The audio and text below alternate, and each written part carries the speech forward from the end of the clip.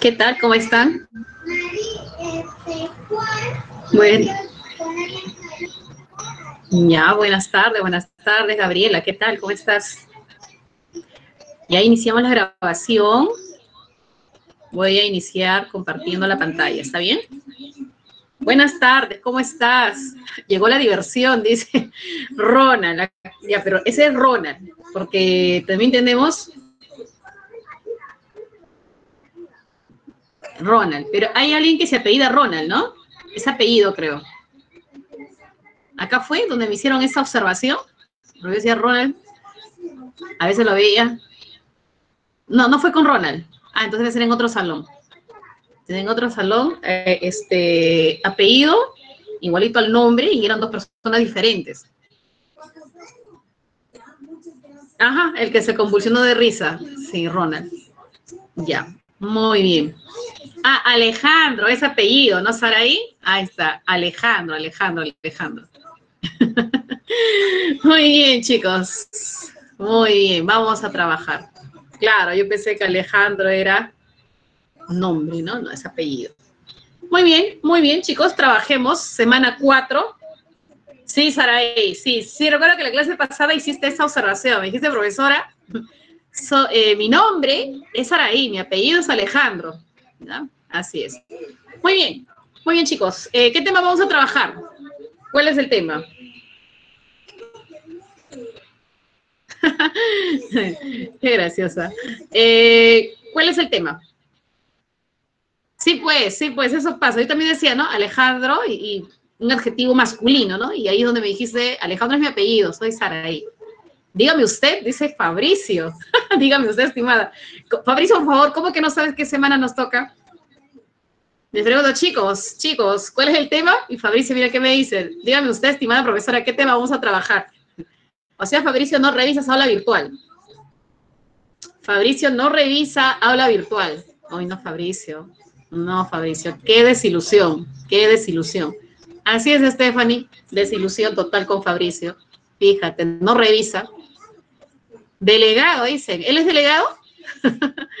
Muy bien, delegado. Vamos a trabajar antonimia contextual. Sí, trabajemos antonimia contextual. Denegado, es, dice denegado. Ah, está trabajando léxico, es denegado, o sea, ha sido rechazado.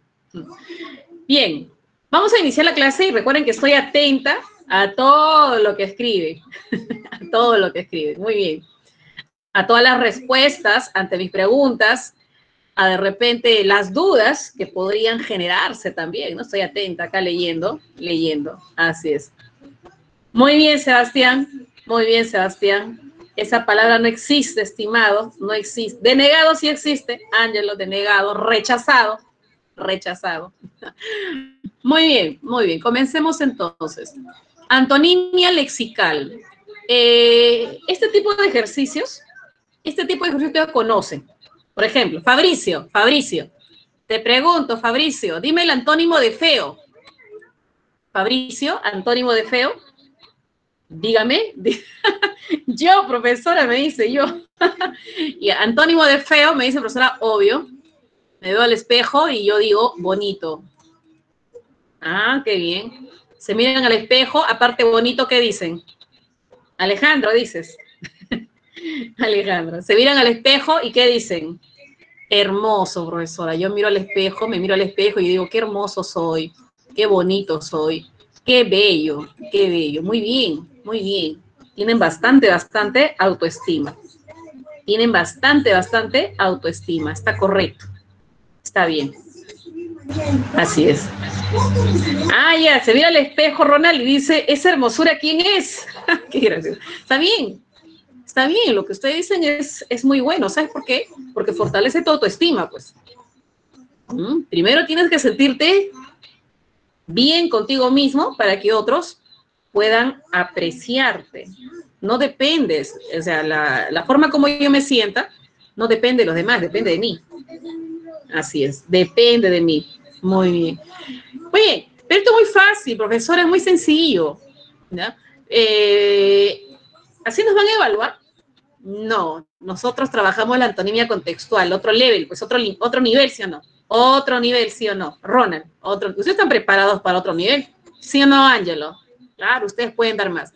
Y si yo les digo de repente, ¿ya? Que, qué fea, qué fea noticia, qué fea noticia recibí hoy, qué fea noticia. No me van a decir ustedes, profesora, el antónimo es bonita. Qué bonita noticia, qué hermosa noticia de No, no. Primero tienes que entender qué significa aquí fea, qué fea noticia. Qué fea noticia. Claro, claro. Acá se entiende desagradable, profesora. Nos molesta esa noticia. Nos genera indignación, desagradable. Entonces el antónimo sería agra, agradable. Así es, agradable. Es más, quiero practicar mi léxico. Yo podría decir que el antónimo de fea en esta oración es grata. Oye, qué grata noticia. ¿Por qué grata? Porque significa que genera satisfacción, nos genera alegría. ¿Mm? Qué grata noticia, pues que me informen, una vez que acabe el ciclo, que casi todos mis alumnos del aula 9, turno mañana, ingresaron. ¿Ah? ah, qué grata noticia, de verdad, para mí sería una noticia muy grata, ¿no? Que me digan, ¿sabes que casi todos tus alumnos del aula 9 ingresaron? Dios le escuche, Dios le escuche. Para mí sería una grata noticia, porque a mí me generaría mucha satisfacción, mucha satisfacción, mucha alegría. No porque yo vaya a disfrutar directamente de lo que ustedes vayan a cosechar, sino que me siento, como dice por ahí Jason, me sentiría bastante, bastante eh, compensada. Así es. Veía que lo que se sembró, ¿qué obtuvo? Frutos. Que dice, no seas malo, pues Fabricio. Fabricio, ¿por qué eres así? ¿Por qué eres así, Fabricio? Todos menos Alejandro, dice. No, Fabricio, no seas así. Está bromeando, está bromeando. Muy bien, sigamos por acá. Entonces, entonces, en antonimia contextual, tenemos que concentrarnos en el contexto. Qué fea broma, dice Saraí, qué fea broma. Ya. Vamos a colocar lo que nos dice Saraí. Profesora, qué fea broma. Qué fea broma. Aquella expresión de mi amigo, fea broma. Veamos. ¿Qué significa fea ahí? Precisión léxica. Apliquemos precisión léxica. Qué fea broma. Puede ser desagradable. Una broma desagradable. Pero todas las bromas, no hay ninguna broma que sea agradable. ¿ah? Las bromas no son agradables. ¿Sí o no? Las bromas no son agradables. Me dices incómoda, lo contrario sería cómoda. Las bromas son cómodas. Puede haber una broma que sea cómoda. Ah, por ahí ya están acercándose, profesora. En este caso, él está revés, ya está de repente, pues, mi amigo, de repente mi amigo Alejandro, es muy susceptible. Puede ser susceptible. Entonces, yo considero que esta broma es pesada. Es una broma pesada haber dicho aquello. ¿Cómo entiendo acá pesado? Entiendo que esto rebasa los límites. ¿Por qué genera? Puede generar cierto, cierta incomodidad. Ustedes lo han dicho. Puede generar cierta incomodidad. ¿Qué sería lo contrario? Que sea una, una broma, no me digan liviana, no vayan a decir liviana, no puede ser una broma liviana. Si pesado entiendo que ya genera incomodidad, ustedes lo han dicho, entonces lo contrario que sería, a ver, una broma que no, no transgreda, digamos, los límites, que sea moderada, una acertada broma. Es que no, las bromas no pueden ser acertadas o desacertadas, no pueden ser atinadas o desatinadas. Las bromas o rebasan el límite o están dentro del límite. Cuando está dentro del límite, es una broma discreta. ¿Por qué? Porque se halla dentro de los límites. Claro, nosotros podríamos, podríamos jugarnos algunas bromas, pero que se hallen dentro de los límites, que no genere que no genere qué cosa, que no genere de repente eh, alguna sensación hiriente. Así es. Una disgustante broma. Ese término no existe. Muy bien, muy bien. Continuemos por acá. Vamos a ver. Entonces, antonimia lexical simplemente es oposición de palabras. Nada más. Bueno, el antónimo malo. Pero nosotros sabemos que los ejercicios de antonimia contextual nos enfocamos en el contexto, en la intención de la oración. Si les digo, chicos, ¿cuál es el antónimo de caliente? Todos van a decir frío, profesora, obviamente. Pero veamos en una oración. Ahí les ofrezco esa oración. Ahí les ofrezco esta oración. Cuando eres una persona fría y alguien saca tu lado cursi. Para que me digas el antónimo de fría, primero tendrías que entender qué significa fría ahí. O de frente, a ver Fabricio, de frente me dices, profesora, entonces si acá está facilito, si antónimo de frío es caliente, profesora, profesora facilito, pues lo cambio por caliente. A ver, ¿tú crees que sería un buen cambio así nomás tan sencillo? Cuando eres una persona caliente, ¿cómo vas a ser una persona caliente? Pues? A ver, ¿quién dice soy caliente? no, no, no. Muy bien, Fabricio, muy bien, Fabricio. Me dice, no, profesora, acá nada que ver con caliente. Pues analicemos el contexto, la intención, la intención comunicativa. Cuando eres una persona fría, acá hace referencia a una persona insensible, a una persona indiferente, a una persona insensible, una persona indiferente. Entonces el antónimo tendría que ser una persona sentimental, o una persona sensible. Facilito. El antónimo de fría, en ese caso sería sensible o sentimental. Así es, Ángelo. ¿Depende de qué? Depende del contexto, depende de tu intención comunicativa. Ángelo me dice, profesora, pero yo eh, quiero expresar que soy, soy caliente. Y ayudemos a Ángelo. Ángelo ha dicho que él es caliente. A ver, él dice que sí, Sí, sí, sí, sí, sí, vale esta expresión, soy caliente. Podríamos entender que él es qué. A ver, pensemos, a ver. Soy caliente. ¿Es sentimental? soy caliente, dice. Sentimental, podríamos. ¿Es cálido? ¿Una persona puede ser cálida o el ambiente es cálido? Uy, la clase pasada fue precisión léxica. Psicalíptico. Ay, Yamir es profesora, es mi compañero psicalíptico. Qué culto, qué culto es Yamir.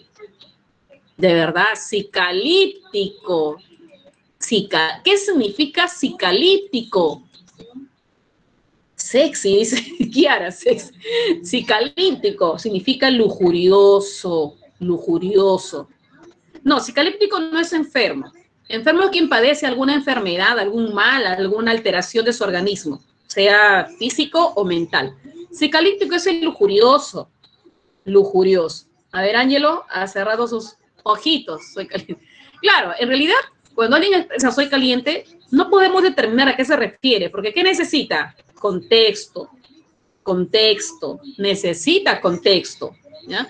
Entonces, de repente, soy caliente, pues por eso por eso, ¿ya? Respondí sin pensar. Ah, qué diferente, fíjate, ¿eh? fíjate.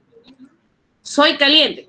Yo soy caliente, pues, soy caliente. Por eso respondo sin pensar. Ah, ahora sí entendemos qué significa caliente. Soy caliente. Por eso respondo, respondo, respondo sin pensar. Muy bien. Tendría que cambiar caliente. No es preciso, acuérdate de la clase pasada. Soy caliente, por eso respondo sin pensar. ¿Cómo es él? ¿Quiénes responden o actúan sin pensar? Impul, impulsivo. Ahí está. Él es impulsivo. ¿Te das cuenta? O de repente temperamental. Temperamental. ¿Ya? Ángelo. Ángelo. A ver, Ángelo está en otra, creo. Ángelo está en otra. ¿Ya? Ángelo está en otra. A ver, ah, ya, bromita nomás. Ahorita vamos a mandar un correo ahí. ¿Qué, está pasando, no? está en otra, dice. Acá tendría que cambiar, ¿por qué? Precisión léxica. Impulsivo. Impulsivo. Temperamental. Temperamental. Muy bien. Ronald ha entregado el significado de cicalíptico. El cicalíptico es el lujurioso. Busquemos con un solo, con un solo sinónimo, ¿no? Es el lujurioso. El salaz, lujurioso. Así es. Obsesionado por los placeres carnales, sexuales. Muy bien, acabamos de ver que sería soy impulsivo. Ya. Eh, quisiera el antónimo entonces de caliente en esta oración que nos ha propuesto Ángelo. Soy caliente, por eso respondo así. Acá es impulsivo. Lo contrario impulsivo tendría que buscar. Ronald, lo contrario impulsivo. Lo contrario impulsivo, porque acá caliente significa impulsivo. Ya. Lo contrario impulsivo, ¿cuál sería? Ángelo. Lo contrario impulsivo, ¿qué sería? Taimado. Mm, taimado astuto. Pero no, ¿qué es impulsivo? Lo temperamental. Lo contrario sería la persona muy, muy moderada. Muy bien, Brian. Excelente. ¿No? Soy bastante sereno. soy tranquilo. Soy sereno. Yo no soy impulsivo. Soy sobrio, dice. ¿Sabes qué? Pero lo que pasa es que sobrio podría entenderse en otro contexto. ¿Ya? En otro contexto. Acá sereno. Sereno, tranquilo. Por eso yo respondo de esta manera. Yo no me exalto. No me dejo llevar por el impulso. Sereno, tranquilo. ¿Cómo respondo? Con calma. Claro, sobrio eh, puede hacer referencia a la persona que no ha consumido alcohol, pero sobrio también significa moderado, pero ¿sabes qué? Es moderado para el, de repente, vestir o el actuar. Era un vestido sobrio el que llevaba la novia, o sea, no tiene adornos exagerados, es muy moderado. El estoico, Yulisa, el estoico es el que se mantiene ecuánime, ecuánime, ¿ya? ¿Qué significa ecuánime? Que mantiene estable ¿Qué mantiene estable? Sus emociones. Ese es el ecuánime. Extravagante es raro, hijo mío, Fabricio. Extravagante significa raro. No podría decir soy. Caliente no podría significar extravagante. Extravagante es raro. Muy bien, excelente, excelente todos los términos que han colocado en el chat. ya me di cuenta cuál sería ahí. La palabra que se opone a fría en este contexto sería sensible. ah, para vestido, un vestido extravagante. Sí, tiene sentido. Tiene sentido. Fabricio, tiene sentido, ¿no? Un vestido extravagante es un vestido raro, poco común, poco común. Así es. ¿Qué podría ser extravagante? Profesor, hablando de vestido de novia, ¿qué podría ser extravagante? Por ejemplo, podría ser extravagante eh, que vayas a una, ¿no? a una ceremonia de matrimonio y lleve pues un vestido rojo o un vestido verde. ¿Ya? Entonces, eso es extravagante, pues algo raro, poco común. Me dice también para la hermosura. Ah, ah, ya. Mejor ahí hablamos de exótico. Fabricio, cuando hablamos de la hermosura de algo es exótico. Eh, podemos hablar acerca de lugares exóticos, lugares muy hermosos, llaman la atención, no son parte de nuestro entorno. ¿Mm? Hablamos de repente de comidas exóticas, plantas exóticas, animales exóticos. Así es. Claro. Muy bien. Continuemos por acá. Hay más ejemplos, no se preocupen. Pasemos a la antonimia contextual. Fabricio. Es la identificación del antónimo de una palabra en función de su contexto. Creo que eso quedó claro, ¿sí o no? Quedó claro. Desmesurado. ¿Qué significa desmesurado? Descontrolado. Eso significa. Sin mesura. Muy bien, Jason. Sin mesura. Correcto. Ahora, ¿cuáles podrían ser los antónimos Así, lexicales de desmesurado. Muy bien. Que no tiene control, me dice. Eso significa desmesurado, que no tiene control. Muy bien, Saraí. ¿Ya? Lo contrario, o el antónimo, si desmesurado es que no tiene control, antónimo podría ser prudente, moderado, frugal, sensato. Acá se repitió prudente. ¿ya? Tiene que ver con todo lo que regula, se regula. Correcto. Pero, profesora, ¿cuál de ellos será el mejor antónimo para desmesurado? ¿De qué depende elegir frugal o sensato o prudente. ¿De qué depende? ¿Cuál será el mejor antónimo para la palabra desmesurado? Le doy un punto al que me responde por el chat. ¿Cuál será? Muy bien, Yulisa. Muy bien, Yulisa. Te voy a colocar un punto de repente. Hoy eres la chica, la chica del la chica de él, de la clase, ¿no? Yulisa tiene un puntito, muy bien, fue la primera que colocó. Está atenta, eso significa que está atenta. ¿Correcto? Vamos a ver acá. Era desmesurado cuando comía. ¿Significa, profesora, que esta persona no tenía control cuando comía? ¿Significa que comía en exceso? ¿Significa que comía en exceso? ¿Qué sería lo contrario? Que coma moderado, pues profesora. Pero espérate. Eh, moderado, frugal, sensato, prudente, todo ello significa moderado. Uno de estos significa moderado para comer o beber. Muy bien, Yul Yulisa se le lleva todas, ¿ah? Yulisa va con el segundo punto. Frugal. Frugal significa moderado para comer o beber. Eso significa frugal. Mi respeto, dice Ronald. Buen, ¿cuándo no, Fabricio? ¿Cuándo no, Fabricio? Mal pensado. Buen Google, dice. Bien, entonces, eh, el desmesurado, el desmesurado es el que come sin control. Y si comemos con, con, bastante control, moderación, sería frugal. Sí, ahí el antónimo contextual sería frugal. Hay más ejercicios, no se peleen, ahí está, frugal. Frugal. Sigamos, sigamos. Pesado. Tiene varios antónimos. Puede ser discreto, puede ser liviano, puede ser interesante. ¿Está bien? Todos ellos podrían ser. Muy bien. Veamos la antonimia contextual. ¿Qué les parece? A ver, Fabricio. La conversación le resultó bastante pesada. ¿Qué entiendes, a ver? ¿Cómo fue la conversación? Todavía no me digas cuál es el antónimo. Primero dime qué entiendes por pesada. La conversación le resultó bastante pesada. Incómoda, dice Fabricio. Incómoda. No le gustó. Ah, aburrida, me dice, profesora. Ahí está, mira, Yulisa está demostrando que no está usando, no está googleando. Ella está interpretando, ¿ah? Quiere decir, acá pesada, entiendo como aburrida, profesora, que aburre, que genera tedio, genera tedio. Muy bien. Entonces, ¿cuál sería el antónimo entre discreto, liviano e interesante? Claro, ¿qué se, qué se opone? Pues aburrido. Interesante. ¿Te das cuenta? Se opone interesante. Muy bien. Muy bien, correcto. Sería interesante. Una conversación interesante. Parece que no pasa el tiempo. ¿Y te das cuenta? Ya anocheció. Nos pasa, ¿no? Soy hábil con las bromas pesadas. Entiendo por pesada que estas bromas. Ah, está Fabricio, se rió. Ah, está Fabricio. Soy hábil con las bromas pesadas. Claro, lo contrario tendría que ser discreto. ¿Qué entiendo acá por bromas pesadas? Entiendo que estas bromas ya rebasan los límites y el respeto están rebasando los límites y el respeto. Por ejemplo, a, veces ha ocurrido, ¿no? Están por sentarse y alguien le quita el asiento y la persona cae, ¿no? Cae de espaldas. Muchos dicen que esa es una broma. Será pues broma pesada porque eso ya rebasa los límites y el respeto. No está pensando en las consecuencias. ¿Qué puede pasar? ¿Qué puede ocurrir? Esa persona puede lastimarse ya, esa es una broma pesada.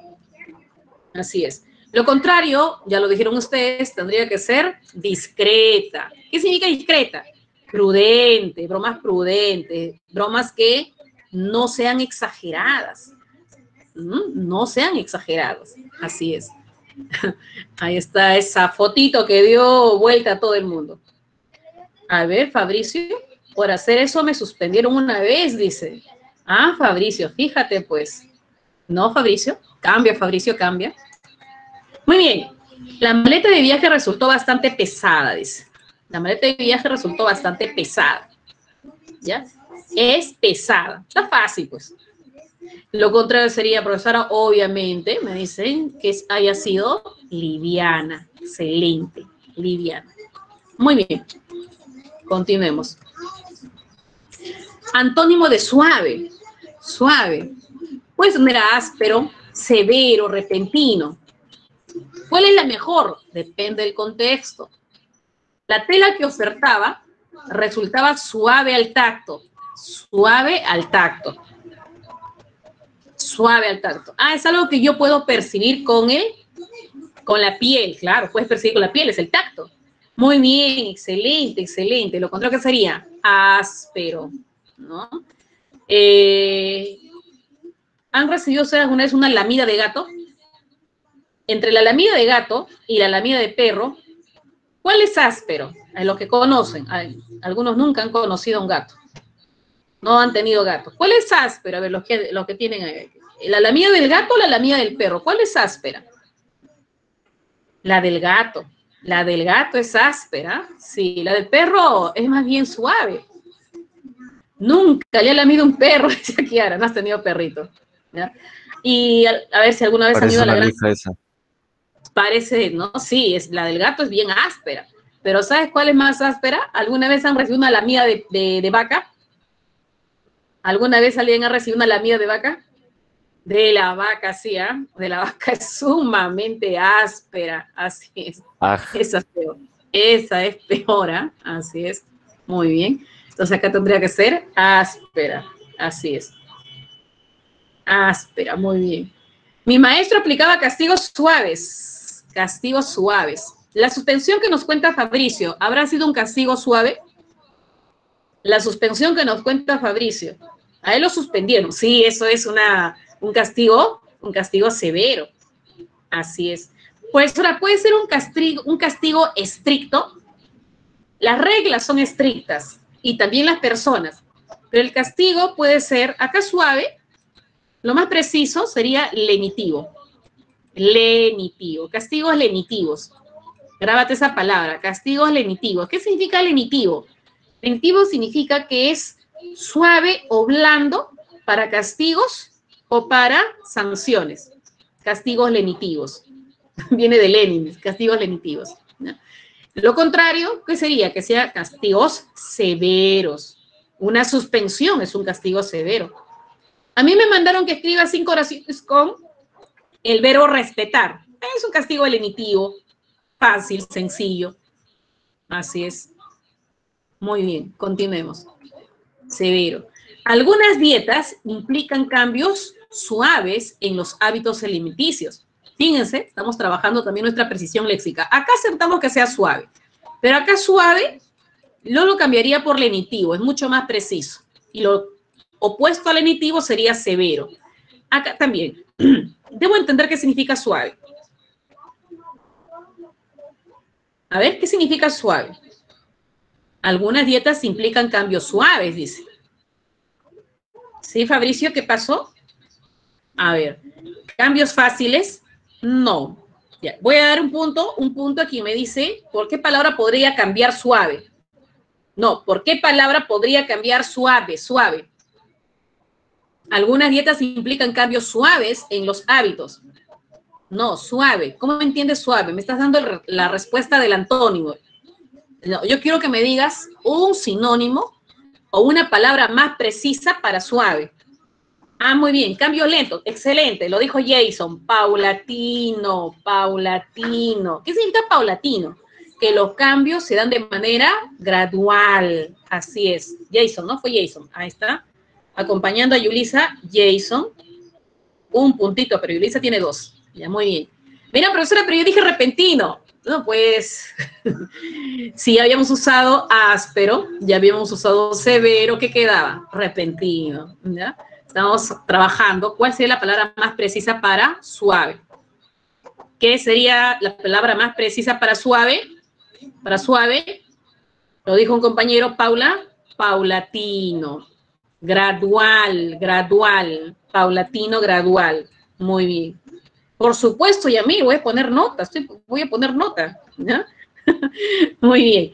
Entonces, ¿algunas dietas implican cambios paulatinos en los hábitos alimenticios? Sí. Por ejemplo, las, dietas mediterráneas. La mayoría de nosotros está acostumbrado a comer carnes, carbohidratos, eh, minerales, frutas, todo eso, ¿no? Entonces, pasar a una dieta vegana donde no se consume nada de carne ni tampoco derivados es muy, muy difícil. Imagínate, mañana me vuelvo vegano. No, vas a sufrir, vas a sufrir, porque no, ellos no comen huevo, no toman leche, no toman yogur, o sea, nada de derivados de animales tampoco. En cambio, la dieta mediterránea sí nos podría ayudar a este tipo de cambios paulatinos, porque la dieta vegana, ¿qué pasa? En la dieta mediterránea, ¿qué pasa? No eliminan la carne, solamente disminuyen la porción de carne y se incrementan las porciones de verduras. Así es. Claro, los veganos no comen ni leche, ni, huevo, nada de eso, ni yogur, no, nada, nada de derivados, tampoco derivados. Entonces, hay dietas que son cambios repentinos, como la vegana, pero hay dietas que son paulatinas, como la mediterránea. Así es. Muy bien, excelente. Muy bien. ¿Aquí alguien es vegano o vegetariano? No, la mayoría somos, somos omnívoros. Ron, ah, ya, eh, Ronald, tú eras. Ahí está mía, Ronald. Vemos el efecto, ¿no? Todo, todo, todo, todo, todo se ríe, Ronald. Todo se ríe. Muy bien.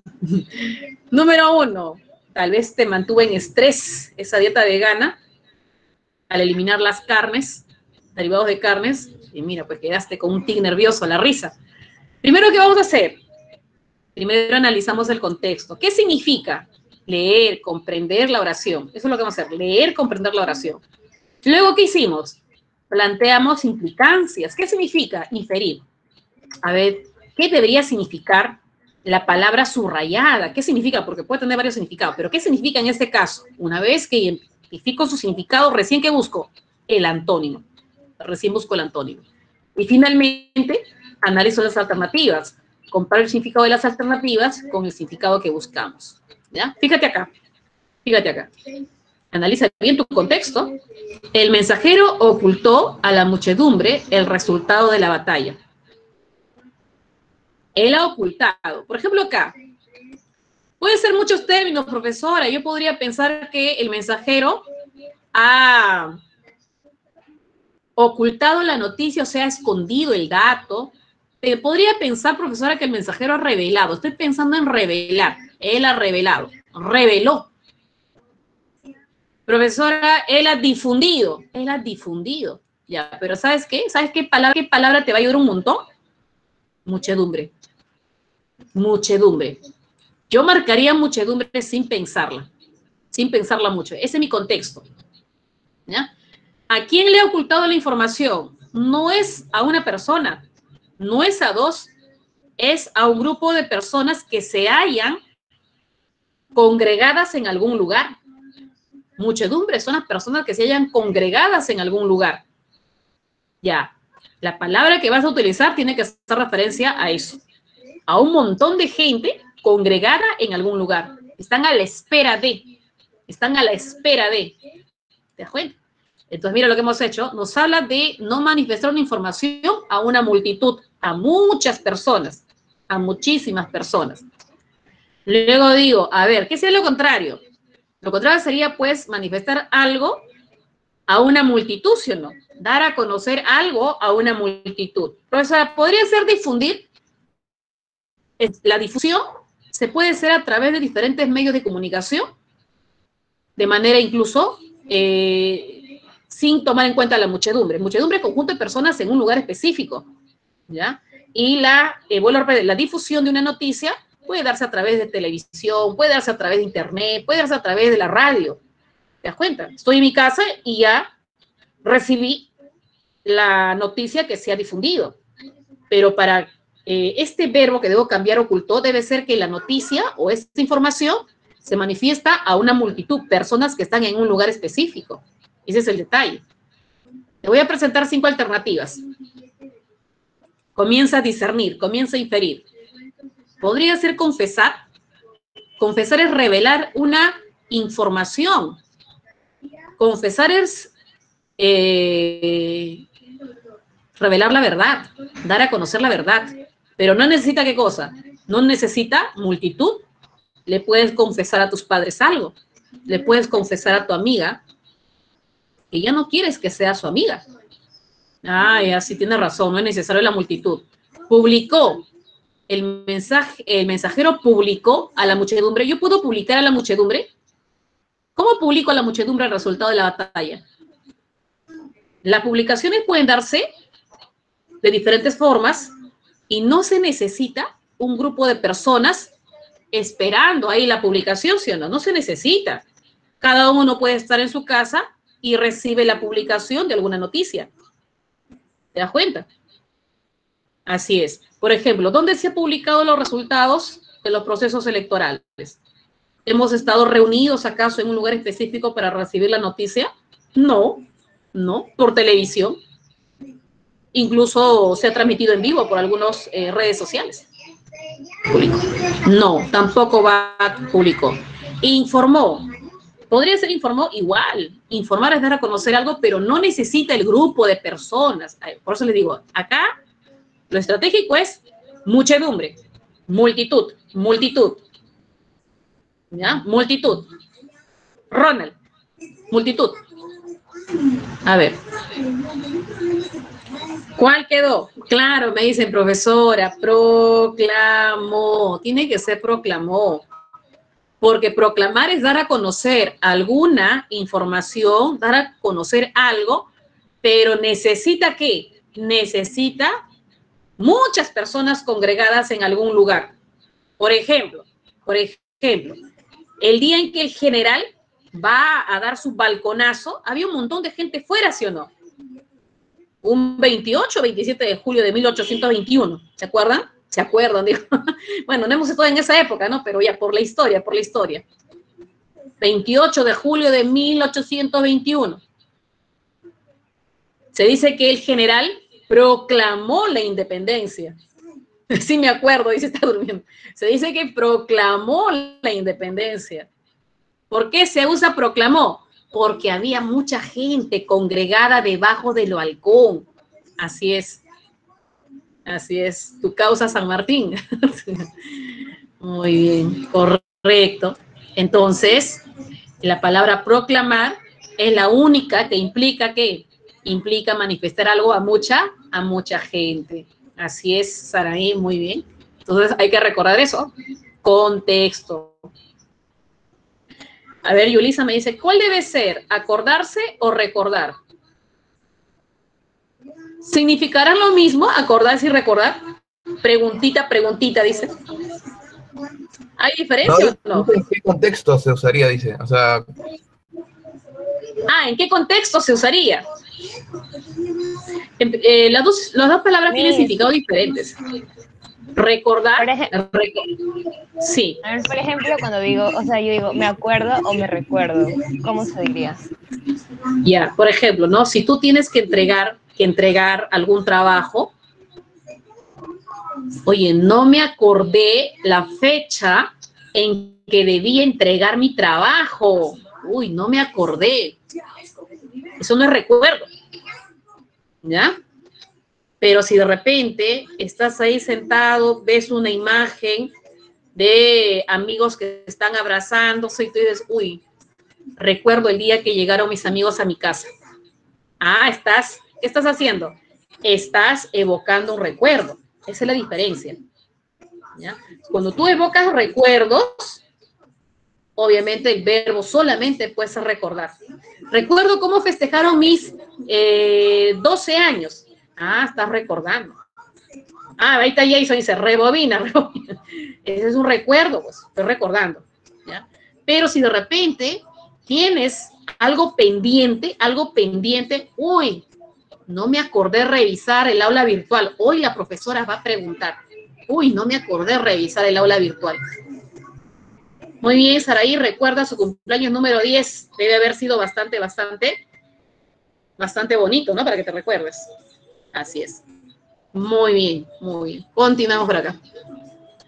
Ayuden, ayuden en este caso. Número dos, sus hábitos alimenticios agravaron los síntomas de la enfermedad. Igual acá, igual acá. Síntomas, síntomas.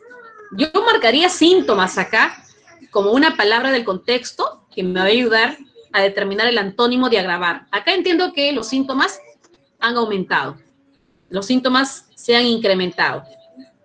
Eso puedo entender, que los síntomas se han incrementado. ¿Ya? Se han incrementado. Me dice, profesora, ¿no puede ser empeorar? Ah, ya, agravar, su sinónimo, empeorar. Ya. Más que empeorar los síntomas, sí, sí, puedo entender, si se han empeorado los síntomas, se ha agravado, se han incrementado los síntomas en, esta, en este paciente, ya, tengo que buscar su antónimo. Entonces, ¿qué sería lo contrario? Lo contrario sería que hayan disminuido los síntomas, que se hayan aliviado los síntomas, disminuido, aliviado, ¿ya? disminuido o aliviado. ¿Está bien? ¿Estamos de acuerdo? Disminuido o aliviado. Ya, muy bien. Entonces, analizamos el contexto y dijimos, se trata de síntomas. Ya, lo contrario tendría que ser disminución. Así hemos pensado. Te doy cinco palabras que tienen que ver con disminución. Ya, dime tú, ¿cuál sería? ¿Cuál sería? ¿Cuál sería? Claro, Saraí, me dice paliaron. ¿Y por qué paliaron? ¿Por qué tendría que ser paliaron? Porque mira, acá dice disminuyeron. Acá dice suavizaron. Muy bien, Saraí, porque se usa para enfermedades. Paliar significa disminuir los síntomas de una enfermedad. Muy bien, Saraí. Te voy a poner tu puntito, Saraí. Estás bien atenta. Estás empate con Jason. Yulisa sigue, teniendo dos. Muy bien. Entonces me dice ella, porque paliaron se refiere a enfermedades. Se refiere a enfermedades. Se refiere a enfermedades. En cambio, disminuir es muy genérico. Suavizar es muy genérico. Y acá estamos aplicando los términos según el contexto. Por lo tanto, paliar es la única que implica disminución de síntomas o enfermedades. Muy bien, excelente. Ya está. Siguiente, dirán, a ver, siguiente, siguiente. Ahí está la número tres. Durante el año escolar, el estudiante transgredió las normas del colegio. Transgredió. Sería, ¿qué entiendo por transgredir, sí o no? ¿Qué entiendo por transgredir? Primero tendría que hacer eso. ¿Qué entiendo por transgredir? Ha violado las normas, profesora. No ha obedecido las normas. No ha obedecido, ha violado, ha faltado a las normas. Ya muy bien. Lo contrario, ¿qué sería? Una persona que, ah, una persona que respeta las normas. Ah, entonces subraya normas, pues. Esto te va a ayudar. No está desobedeciendo cualquier cosa, está desobedeciendo normas. Ya, muy bien. Eso es marcado, normas. Vamos a ver acá. Tengo cinco alternativas. Profesora, ¿cumplió las normas? No, es muy genérico. Cumplir también es para alguna tarea. Obedeció. Obedeció para órdenes. Muy bien, Ronald. Dice Ronald. Acató. Acató significa respetar, obedecer las normas. Así es. Acatar, sí, está bien, Yulisa, muy bien. Es acatar las normas, acatarlas, correcto. Las demás, profesora, muy genéricas, muy genéricas. Caso 4. Wisis, ahorita lo mando, ahorita lo mando. Hay que terminar con este caso 4. Cuando abrió la botella, la pestilente sustancia en su interior llamó la atención de todos los presentes. Claro, acá pestilente se refiere a un olor desagradable, desagradable. Pero eso no puede ser olorosa. El que olorosa simplemente es que despide olor. Ese olor puede ser muy agradable o puede ser desagradable total. En cambio, fragante, ¿qué significa? Aromático, exquisito, exquisita fragancia exquisito olor. Muy bien, ahora sí me dice profesora, quizzes, por favor, queremos practicar. Ya, no hay problema, vamos a ver dónde es el quizzes. Acá está. Ya. ¿Están listos? ¿No? ¿Están listos? ¿Están listos? Está muy bien. Vamos a pegarlo aquí. Ahí va, la hora de la verdad. Ah, hediondo también es sinónimo de pestilente. Sí, sí, ahí lo han puesto hediondo sinónimo. Muy bien, chicos, rapidito y los espero. Al toque, a ver, al toque, al toque.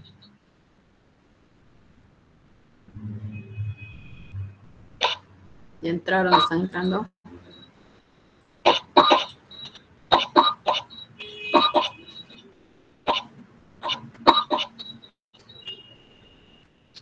¿Cuántos tengo? Ya, 16.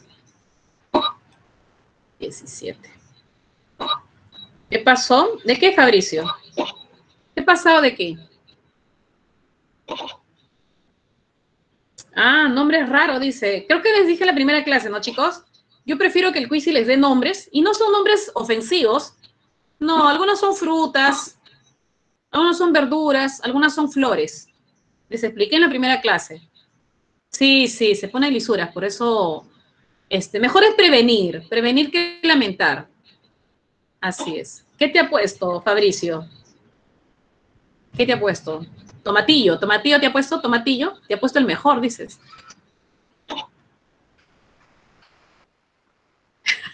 Bonito fatillo. Muy bien, damos inicio entonces. Ahí está.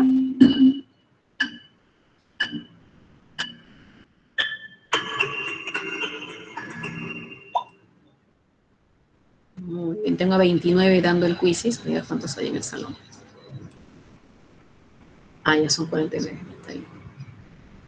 Solamente va a durar 6 minutos. Ya, solo 6 minutos.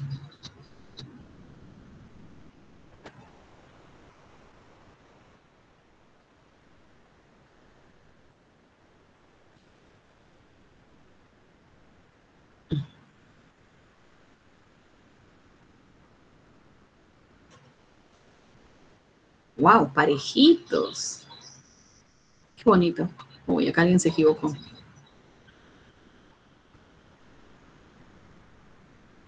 Charlotte Summers se equivocó. Lorax se equivocó. Foch se equivocó.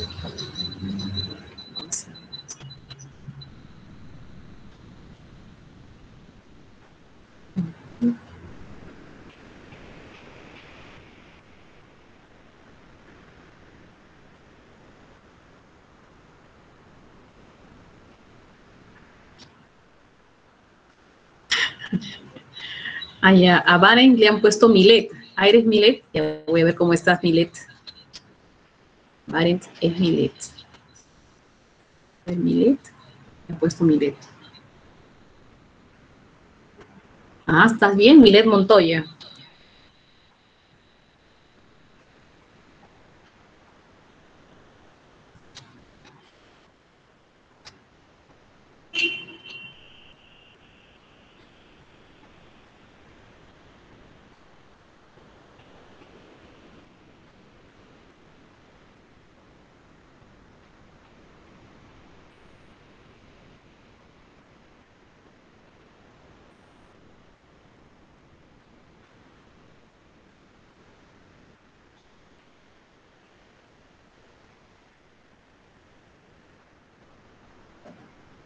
Ujú. Mira, acá hasta ahora se van equivocando.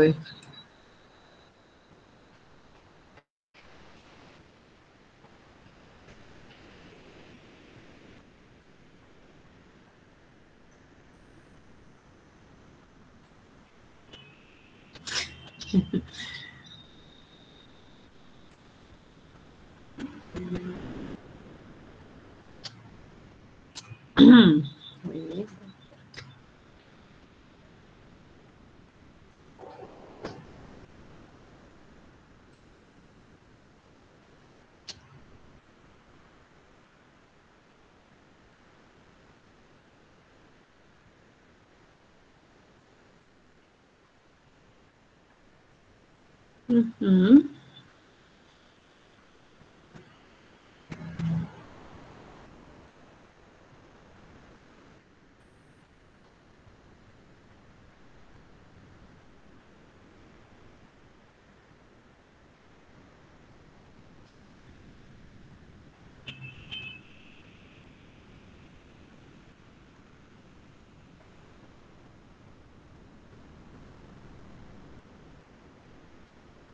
Algunos están invictos, ¿ah? Melón, Absolén.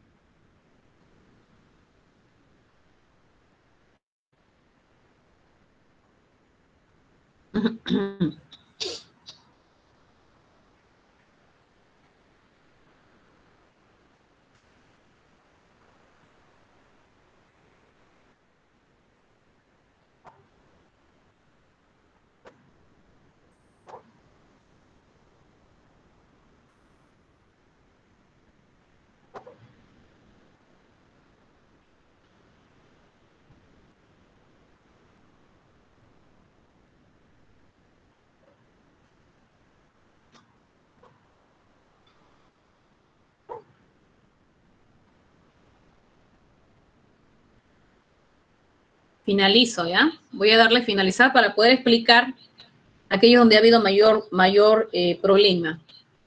No, Stephanie me dice. A ver, 30 segundos.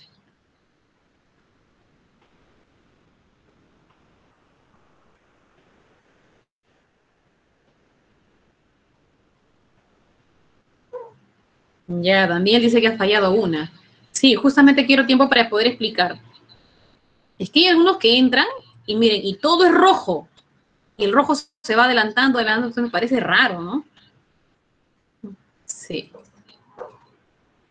Todo es rojo, imagínate. Voy a darle finalizar. Ah, tengo varios que acabaron. Ya, vamos a ver. Finalicemos. Finish, finish.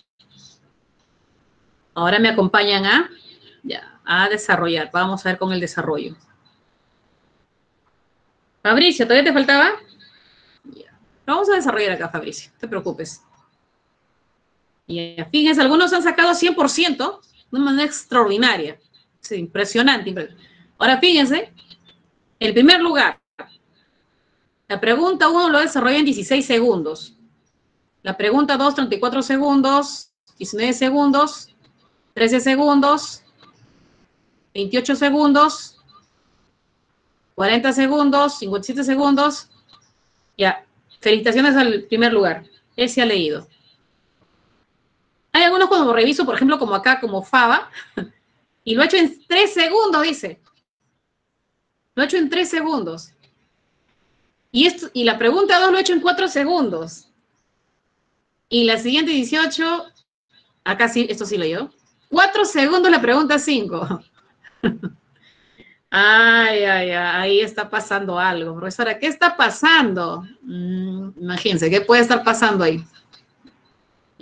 Porque en un salón, cuando así reviso las preguntas, ¿no? En primer lugar, la primera en dos segundos, la segunda en un segundo, la siguiente en un segundo. Y dije, wow, ¿qué pasó?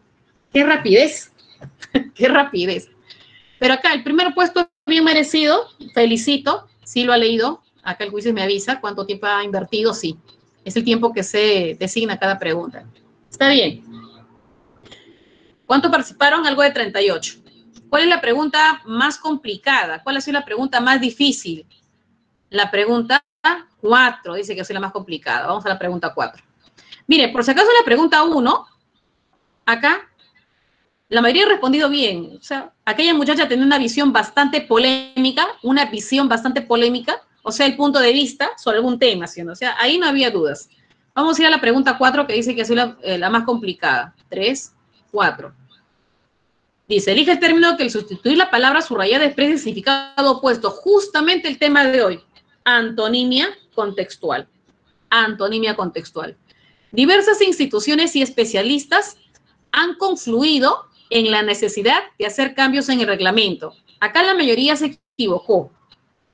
¿Qué hemos dicho? Primero se entiende la palabra subrayada. Al ojo dice que lo sacaste, Sebastián, pero fíjate, no, acá ha habido fuertes errores. 6 más 4, 10, 13, 13. 13 marcaron diferentes claves. Ah, tú leíste mal. Diversas instituciones y especialistas han confluido en la necesidad de hacer cambios en el reglamento. Han confluido. ¿Qué quiere decir? Que ellos están de acuerdo. Eso entiendo, ¿no? Ellos, diversas instituciones y especialistas, están de acuerdo en la necesidad de hacer cambios en el reglamento. Están de acuerdo. Muy bien, Jason, concuerdan, debió ser con. Profesor, acá se entiende pues concordar. Ellos han concordado. ¿ya? Que sea lo contrario, que ellos, que ellos tengan opiniones o puntos de vista contrarios. Que ellos no estén de acuerdo, profesora, que ellos no estén de acuerdo. Una palabra que signifique no estar de acuerdo con algo. Discrepar. Discrepar, así es. Por lo tanto, la respuesta es solamente dadito. ¿Está bien? Muy bien, chicos, me despido. Tengo que ir a, eh, a prepararme para el turno tarde. Cuídense mucho. La clase completa de hoy la encuentran en el aula virtual. No se olviden de desarrollar su autoevaluación número número 4. Cuídate también, Paolo, cuídense mucho. Nos vemos, chicos, cuídense mucho todos. Almuerzo rico. Gracias, gracias. Gracias, gracias. Nos vemos. Gracias a ustedes por la participación. Nos fuimos. Ya, muy bien, nos vemos, cuídense mucho. Almuerzo rico. Bye, me dices. Bye. Ya, Ronald, cuídate. Muy bien. Voy a dejar de grabar.